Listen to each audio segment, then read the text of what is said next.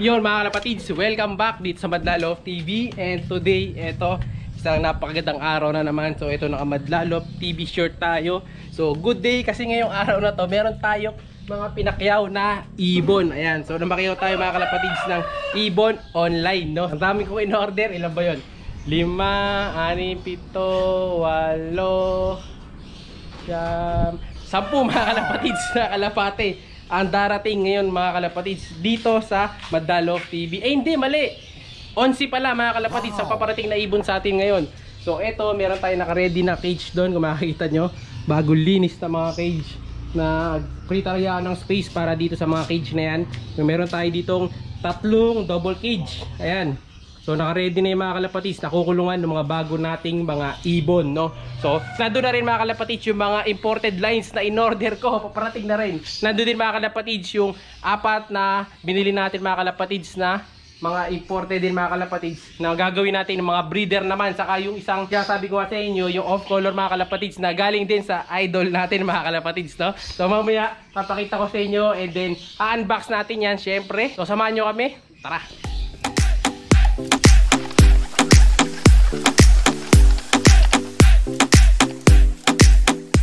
nga mga kalapatid, sinaabangan ko na si Idol Alan Bargon dahil siya yung magdi-deliver ng ating mga ibon, no? So syempre, dahil nga nag-order tayo online, syempre alam nyo naman ang kailangan natin dyan mga kalapatid si isang trusted and then legit na mover, no? Yan. Kaya nga kinunta natin mga kalapatid si Idol Alan Bargon ng Alarcon Move. Ayan, syempre, ng Alarcon Love TV mga kalapatids para mag-deliver nga ng ating mga in-order online no. So marami-rami 'yon. So mamaya makikita niyo siya na ibababa dito yung mga kalapati natin. So ang oras natin ngayon alauna na mag-aalas 2 na. Ayan. So inabot na ng hapon si Idol Alan dahil nga sa dami ng pinakyaw natin ng mga ibon. Ayan. Mamaya makikita niyo yan. So abangan natin siya mga kalapatids dito papunta na daw eh so yun mga kalapatids eto all set na naka-ready na yung may merienday namin ni Idol Alan Barcon kaya nandito na rin yung mga cage natin pinagpatong-patong ko na yung paglalagyan ng mga parating nating mga pinakayaw na ibon syempre. So eto na rin yung mga package syempre. So eto sorpresa natin kay Idol Alan Barcon ayan. And then eto pabalik to mga kalapatids. Dun sa idol nga natin mga kalapatids no, na isang nakuha na natin ng ibon ayan. So kanya to. Mamaya bibigay natin sa kanya yan pagdating niya. So antay-antay muna tayo. Malapit na raw. Later. so yun nga mga kalapatids eto nandito na si idol Alan Barcon ng Alarcon Move yan Alarcon Doc TV so ayun. Tayo na natin ayun yung mga ibon natin daladala ni idol yun no Hello, sir. hello idol kaway ka naman idol yan si idol Alan Barcon mga kalapatids tara pasok Alarcon Sige, mo. Alarcon move. So ayun mga kalapatis, papark muna mga kalapatis. Ah, Gagarahin muna, re-ready muna namin yung mga ibon na daladala ni Idol Alan Barcon. Babalik tayo mamaya. So yun nga mga kalapatids, eto na si Sir Alan Barcon ng Alarcon Move at Alarcon Love TV. So ayan, maraming salamat sa kanya sa pag-deliver nito mga pinakayaw natin online. So meron tayo dito, mga kinuha natin sa mga idol natin. Ito nasa taas, din ito Pure Lines. Ito hindi sa atin to. Sa kanya na to, mga ibabiyahe niya yan. Ayan. So napakabilis lang na biyahe mga kalapatids no. So within the day nadala rin niya yung mga kalapate na in-order natin. Ito may padala pa nga si Sir Allen ng Bio Pigeon. Syempre maraming salamat kay Sir Allen ng Bio Pigeon sa pagpapadala nito. So dagdag parapol dito mga kalapatids no. At ayan nga mamaya i-unbox natin lahat yan isa-isa syempre. So meron pa mga certificate yan. Ayan. So kung gusto nyo rin magpa-deliver, magpa-move ng mga item, mga kalapate, kung ano-ano, lahat pwede. Kahit trip, dadali ni Sir Alan Bargon yan para sa inyo. And then ito nga, especially mga kalapate, pagka meron kayong mga papapick up, kunyari bibili kayo online, madali lang kasi nga, pagka nag-online kayo, chat nyo lang siya, siya mismo kukunin niya dun sa bahay ng mga pinagbilan nyo ng mga ibon, mga kalapate, ganyan. Pwede ring lovebirds. Siyempre mga kalapate, yun yung talagang forte niya mga kalapate. Ayan. Kita nyo naman, balot na balot yung mga ibon, safe na safe. Yan, ganyan ang alagang alarkon mga kalapatids, di ba? Sa murang halaga lang, madi-deliver ng safe yung mga ibon nyo. So trusted pa mga kalapatids, di ba? So 100% legit. So kaya pag may mga pa-deliver kayo, Alarcon Move kagad, hanapin nyo. So ito yung channel ni Sir Alan Barcon, syempre. And then ito syempre si Sir Alan, invite niya kayo sa kanyang channel. What's up, what's up mga kalapatid? So ito, andito naman tayo sa tropa natin sa Idol Madlalot TV. No? So napaka-privilege natin mga kalapatid na tayo pinagkatiwalaan siyempre ng ating idol. So thank you very much brother. At siyempre sa lahat ng kalapatids natin, don't forget to subscribe, Alarcon Love TV. So ito mga kalapatids, kasama nga natin dito si Idol Alan Barcon. Ayan, syempre. At ito yung mga kalapatids natin dito, mga magpapapicture. Ito, ano mga pangalan nyo? Jared Di Ano? Mesa po. Yun, Jared De Mesa daw. Sino bang siya shoutout mo dyan? May crush ka ba? Girlfriend? Shoutout sa um, Di Mesa family. Yun, shoutout daw sa De Mesa family. Ayan. And then ito naman si Angelo Angelo Torres. Angelo Torres, medyo shy type si Angelo ah. Okay lang, huwag kang mahiya, kami lang to. No? Shadow na talaga kaming pogi, pero kami lang to. Ayan, ito, papicture tayo kay Idol Alan Barcon, syempre, ayan. Mga kalapatids na, nanonood ba kayo kay Sir Alan Barcon? Alarcon Love TV. Oo, pag di, Subscribe mo na. mm, subscribe na kayo. Pag nag-subscribe kayo dyan, may gift bird kayo. Oo, saya. Oh, nakasubscribe ka ba? Pag sana chinik ni Idol Alan Barcon yan na naka-subscribe. sayang. Matik sana. Ayun, sana isang box ng kalapati yung bibigay ito. Ano? Bibigyan kayo ng box. Sayang. Oo, oh, pag uwi, kaya pag uwi, eh, ano, subscribe na kayo ha, Angelo ha. Pipicture muna kami mga kalapati. So ito, Idol Alan Barcon, Loganista ang kalumpit na matamis saka bawang. So specialty yan dito sa kalumpit, no? Saka ito gawa ng mga tita ko to. Meron din ditong suka na paumbong naman. Ayan. So ito, para sa'yo. Yan, thank you very much brother. Ano? So makakatikim tayo ng ah, regalo sa mga tita-tita niya. Masarap yan pagka prito, pero inihaw, masarap yan, inihaw, the best yan, sa- na bawang. Pagka nalulu, nagpuputukan na yung bawang yan, so masarap yan.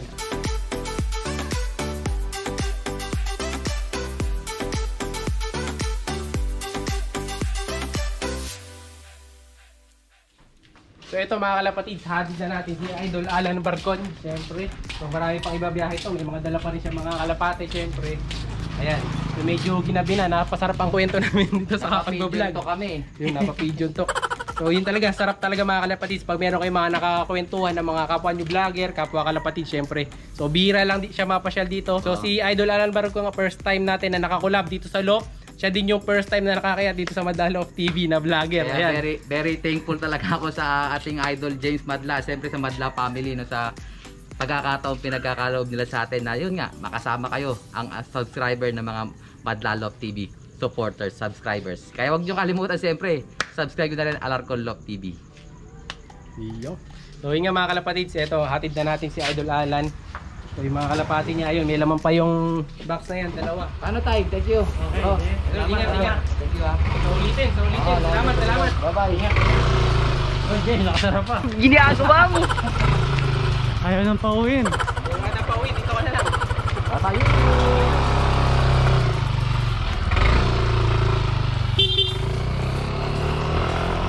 So yun ang mga kalapatis, nakita niyo yung pagbisita dito ni Idol Alan Barcon. So yun, loft tour pa natin siya dito sa loft natin.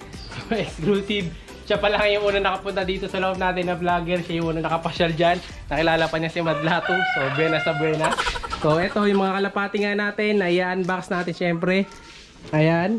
So makikita niyo yung mga kalapatid sa mga susunod natin na mga vlog syempre. So bibigyan ko na kayo ng clue. So ito, yung unang box, ang laman nito, ayan, Advanced Hobbyist Loft. So, High Millim Birds mga kalapatids, galing to dun sa kaibigan nating si Tisoy mga kalapatids. So, abangan nyo yan mga kalapatids, i-unbox natin tong mga ibon na to. So, ito sa Paris to mga kalapatids, meron din certificate. So, makikita nyo yan soon. And then, ito naman, ang next box naman, ay etong Passion Inside syempre galing naman niya mga kalapatids sa idol natin na si Idol Reggie Cruz mga kalapatids ayan so nakakuha tayo sa kanya mga kalapatids na ang kanyang mga kalapatids so solid na solid syempre so ito naman mga kalapatids yung video ni Sir Reggie Joel Cruz Mr. Consistent ayan Idol Madlalop TV. Ito na yung na pinareserve mo. Anytime, pwede mo nang ipakuha to dito. Bali, pangalawang balik na to sa tatay. Siya yung pangatlo.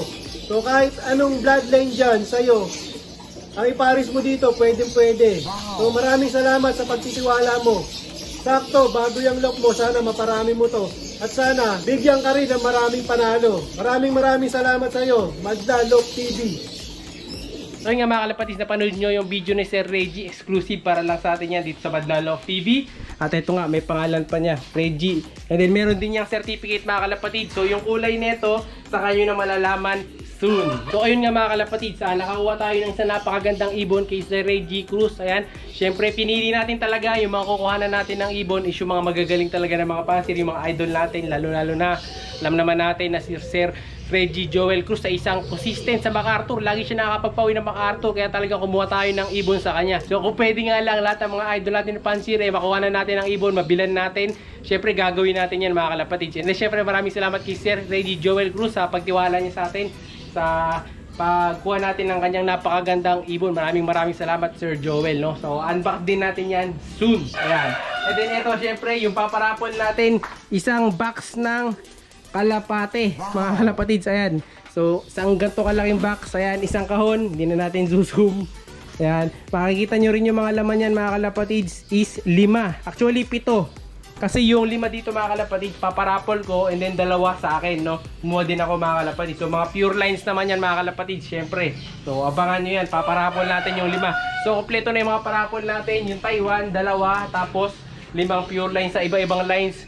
Then pito total ng mga paparapol natin. So meron pa pala isa, yung kay Sir Nelson Chua. Ito naman yung kanyang video para sa atin, ayan. Yan pili kong ibon para sa'yo. Yan ha, nagulang yan.